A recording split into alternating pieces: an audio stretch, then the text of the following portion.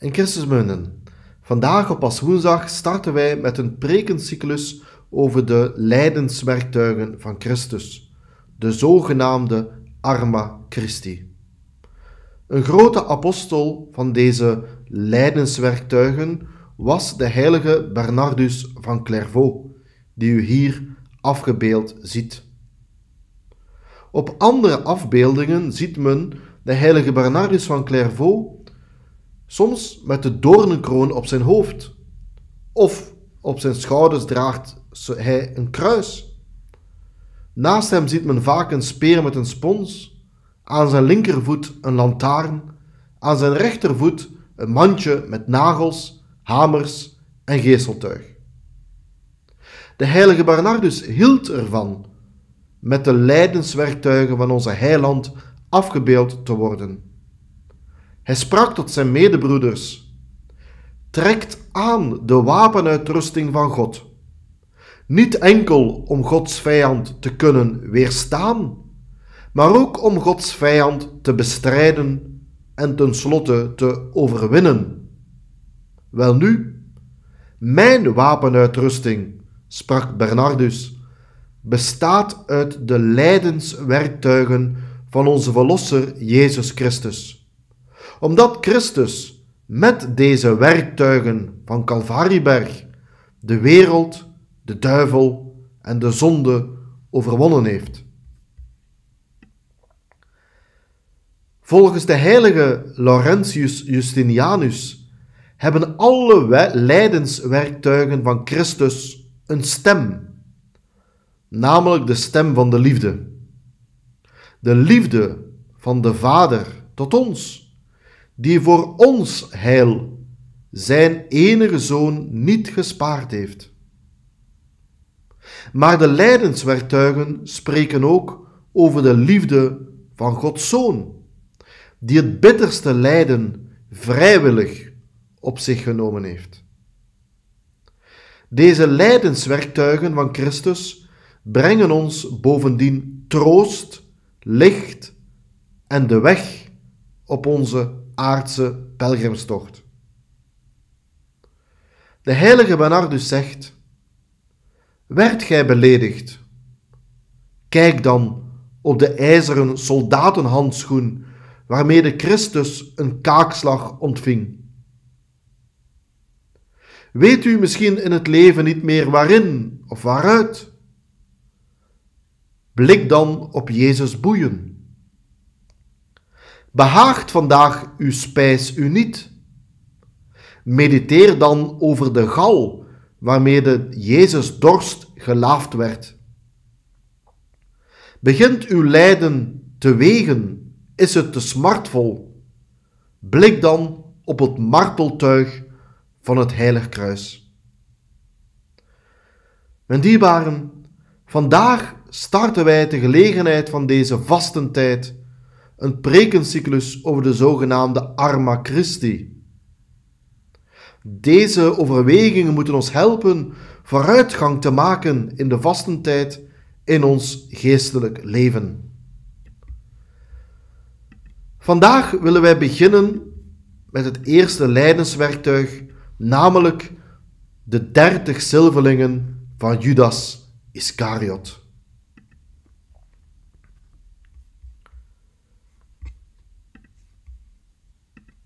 Maria Magdalena had met haar liefdesdaad tegenover Christus een streep door Judas' rekening getrokken.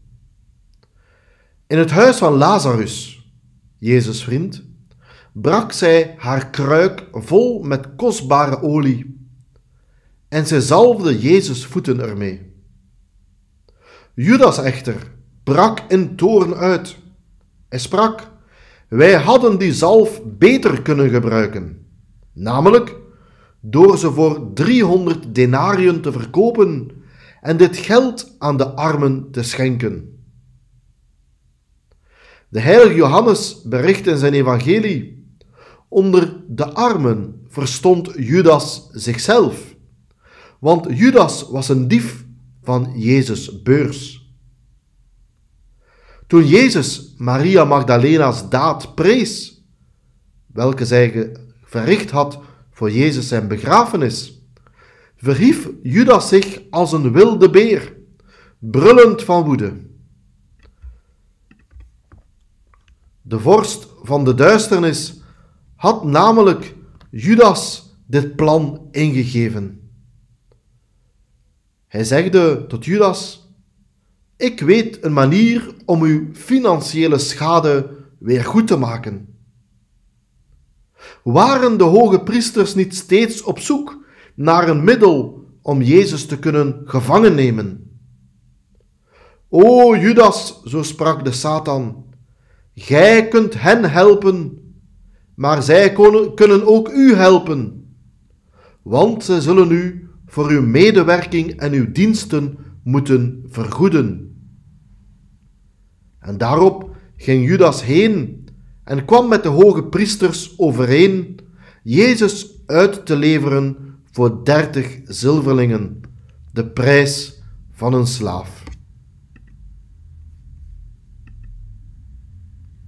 Mijn dierbaren, wat wilt gij mij geven? Zo vraagt elke Judas-broeder, elke Judas-volgeling aan Satan en de wereld. Wat wilt gij mij geven, indien ik u, Jezus, mijn katholiek geloof, mijn genade, mijn deugd opgeef? Wat wilt gij mij geven? Ongelooflijk maar waar. Voor een Judas-christen is de onschatbare waarde van het geloof en de genade schatbaar, maar met een aardse prijs te vergelijken. Ons lieve Heer sprak daarom spottend, maar ook ontzet over deze handelingswijze door de mond van de profeet Zacharias. Ah, wat een mooie prijs hebt gij, waarvoor gij me hebt ingeschat en ingeruild. Zacharias, 11e hoofdstuk, 12e vers.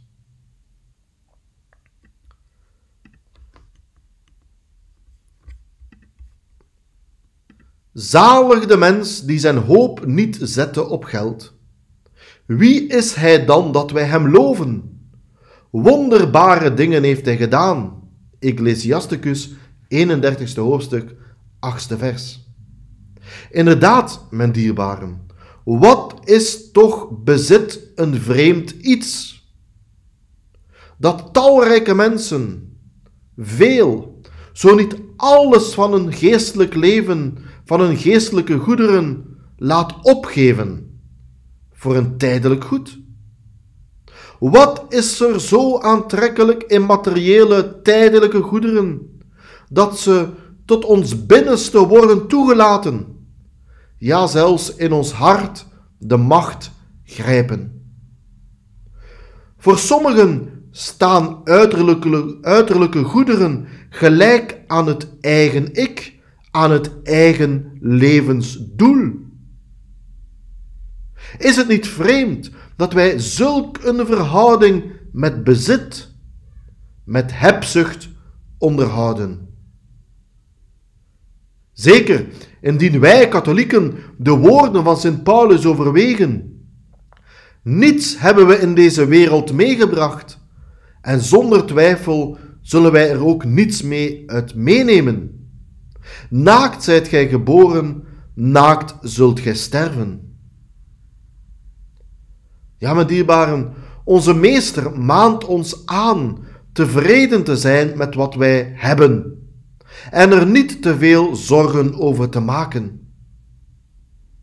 Indien wij iets bezitten, zo leert de heilige Paulus, moeten wij het bezitten alsof wij het niet bezaten.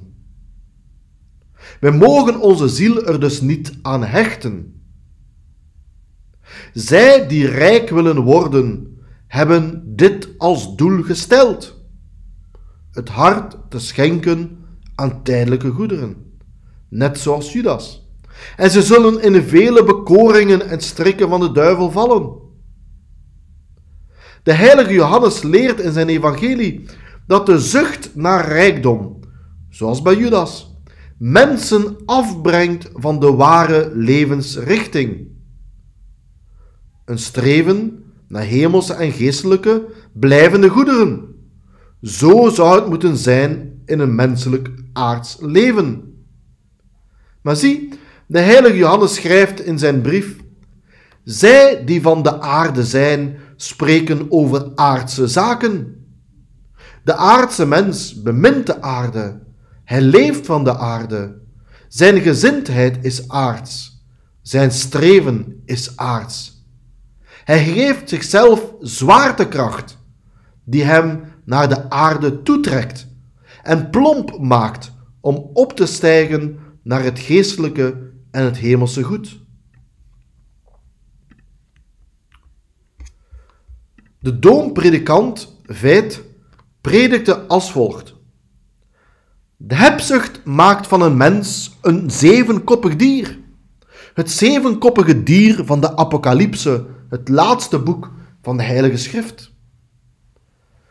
Zulk een mens die steeds omgaat met zucht naar geld en bezit, bezit de kop van de hoogmoed, want hij wil geëerd worden. Hij bezit tevens de kop van de hebzucht, want zijn bezit is nooit groot genoeg. Hij bezit ook het hoofd van de toorn, want tegenover allen die hem in de weg lopen, wenst hij kwaad toe. De nijd bezit hij eveneens, omdat er altijd iemand is die meer bezit dan hij. Lust en onmatigheid, deze koppen van het dier heeft hij eveneens, want hij wil van het tijdelijke genieten. Traag is hij eveneens tegenover het geestelijke goed en het gebed, omdat het schijnbaar voor eerst, wel te zeggen, niets tastbaards oplevert. Dat zien wij ook bij Judas met zijn zilverlingen, het zevenkoppige dier. Judas wilde carrière maken en dat lukte niet bij Jezus. Bovendien verkwanselde Jezus in Judas' ogen het geld en Jezus zag de mogelijke investeringen niet. Denken we terug aan de vaas met de zalf van Maria Magdalena. Jezus' dwaasheid aan de wereld baarde Judas toorn en nijd. En al het geestelijke dat Christus Judas aanbood, zegde hem niets. Judas, de Judas Christen, ziet in mijn dierbaren een zevenkoppig dier. En alle zeven koppen behoren het beest van het eigen ik toe. Alle koppen sperren een muil open naar dezelfde prooi, de dertig zilverlingen. Hebzucht is daarom volgens Paulus een afgod. Men zoekt er zijn eigen levensdoel in. Daarom noemt men het ook kapitaal bezitten. Kaput. Het hoofd. Dat wat het belangrijkste is. Dat waarvoor alles moet wijken. Dat wat gelijk staat aan de eigen persoon. Kaput, hoofd. Voor zulke Judassen staat er in de wereld geen boom van kennis en goed en kwaad, zoals bij Adam en Eva, maar een geldboom. En ook daar wint de slang zich rond en zegt: Indien gij uw hart hieraan hecht en van mijn vruchten eet, dan zult gij gelukkig zijn.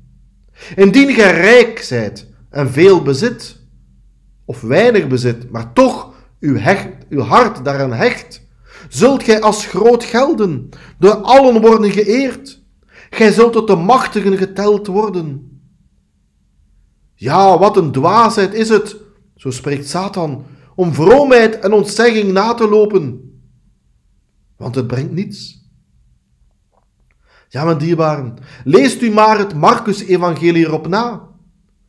Toen Jezus sprak over de geestelijke goederen van, die hij wilde aanbieden van het hemelrijk, dan staat er geschreven, toen de fariseeën dit hoorden, lachten zij Jezus uit. Het geld van de aarde zegde hen meer. Wee zulke mensen. In Duitsland vertelt men nog het volgende verhaal. Er was eens een arme schoenmaker met zijn vrouw. Zij waren gelukkig met al wat zij hadden door een noeste dagelijkse arbeid. Elke avond verrichtten zij hun gebeden tot dank aan God voor dat wat zij hadden en om nieuwe zegen van God voor de komende dag af te smeken. Maar zie, een onbekende gooide op aangeven van Satan dit koppel een goudstuk door het raam. En zie, terstond was hun leven veranderd. In plaats van Jezus te bemediteren, bemediteerden ze nu het goudstuk. En zich niet meer in nood wanend, vergaten ze Gods zegen te vragen en te bidden. Zij zonnen echter op toekomstplannen buiten de hemel, wat zij met dit goudstuk konden aanvangen. Toen de onbekende, die het geld door het raam had gegooid, bij hen op bezoek kwam en naar het goudstuk vroeg, dan loog de rijk geworden schoenmaker en zegde dat hij het helemaal niet had gevonden. Hij viel in de zonden van de leugen. Prompt verstopte hij het goudstuk en elke avond keek het koppel, het schoenmakers-echtpaar, met vrees of een tijdelijk goed er nog steeds verstopt lag. Maar zie, het toeval wilde dat op een dag een dief bij hen inbrak, het blinkende goudstuk vond en ermee wegging. Initieel was het schoenmakerskoppel bedroefd, maar ze vonden toch, door Gods genade, hun weg terug naar gebed, naar tevredenheid, naar God en vrede in het hart. Dit verhaal, wat men in Duitsland vertelt, bezit een diepe waarheid.